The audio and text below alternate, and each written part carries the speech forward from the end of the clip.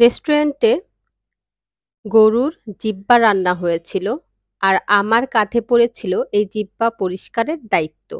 তো প্রথমে যখন বলেছে আমি তো খুব সহজে বলে দিয়েছি, "হ্যাঁ, ঠিক আছে কোনো ব্যাপার না করে দিচ্ছি।" তো এখানে গরম পানিও দিয়ে দিয়েছিল। তো আমি এটা দিয়ে এই জিব্বা দুইটাকে দিয়ে ৪-৫ মিনিট রেখে দিয়েছিলাম পানিতে।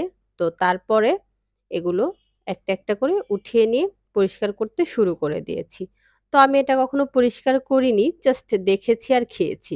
তো আমি মনে করেছি এটা কোনো ব্যাপার না। মুরগি তো কতই পরিষ্কার করি বা এরকম কত কিছুই তো পরিষ্কার করি। তো এটাও হয়তো বা এরকম সহজই। পরে দেখি আল্লাহ! এটা যে কি পরিমাণে কষ্ট। আর আমাদের এই যে নাইফগুলা ছিল, চাকুগুলা ছিল এটাও খুব একটা ধারালো ছিল না।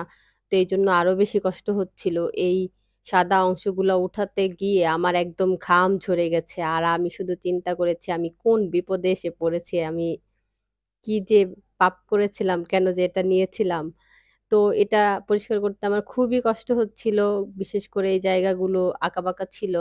তো এই জায়গাগুলোতে এইরকম ছুরি দিয়ে পরিষ্কার করা খুব একটা সহজ ছিল না। খুব কষ্ট ছিল, খুব কঠিন ছিল। তো এটা আমি খুব কঠিনভাবে, কঠিন হাতে কষ্ট করে এটা পরিষ্কার করি। তো তারপরে এখানে তেলের মধ্যে পেঁয়াজ ভেজে, আদা রসুন দিয়ে এবং বাদবাকি যে মশলাগুলো দেওয়া হয় মূলত গরুর মাংস রান্না করার যেই প্রসেস সেম প্রসেসই এটায় রান্না করা হয়। এইগুলোকে ছোট, ছোট করে এরকম করে কেটে নিয়েছে। সেম প্রসেসেই মাংসগুলোকে কষিয়ে তারপরে এটা দিয়েছে এবং এটা দিয়ে এখন রান্না করবে। এই পানিটা যখন শুকিয়ে আসবে তখন আবার পানি দিতে হবে। এটাও গরুর মাংসের মতো সেদ্ধ হতে অনেক সময় লাগে।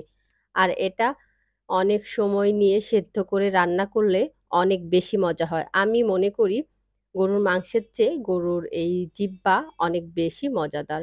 আর আপনাদের কাছে কোনটা মনে হয় অবশ্যই জানাতে ভুলবেন না।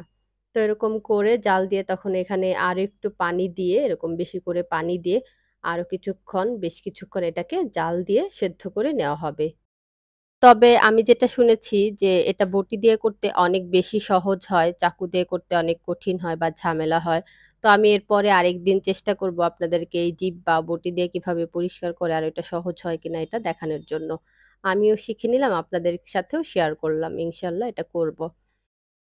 তো এটা এরপরে নামিয়ে নিয়েছিল, ওই যে একদম হয়ে গেছে। তো অন্যরা এটা টেস্ট করছিল। কিন্তু আমার কাছে এটা একটু শক্ত থেকে গেছে। আরও একটু পানি দিয়ে এটা আরেকটু জাল দিলে আমার কাছে এটা ঠিক মনে হতো।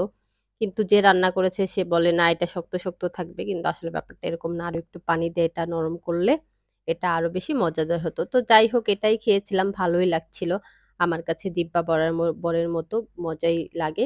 তো আপনাদের কাছে কেমন লাগে অবশ্যই জানাতে ভুলবেন না। আজকে এই পর্যন্তই ভালো থাকবেন। আসসালামু আলাই